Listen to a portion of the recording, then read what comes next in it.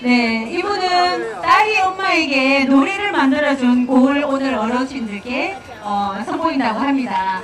제목이 엄마에게라는 노래인데요. 우리 가정의 날을 맞아서 여러 아버님, 어머니께 바치는 노래로 하겠습니다. 윤기주 가수님을 모시겠습니다. 네, 큰 박수로 맞아주십시오. 안녕하세요.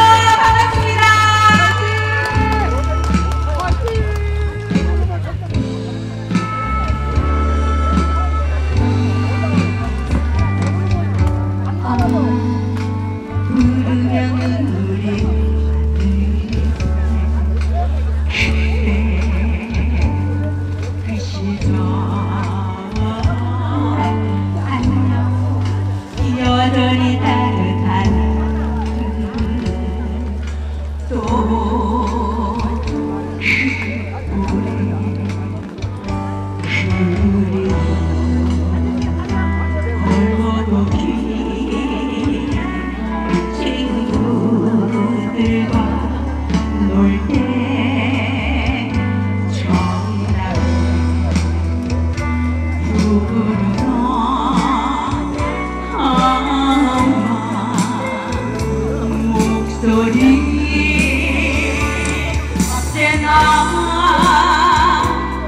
지켜주는 그 봄의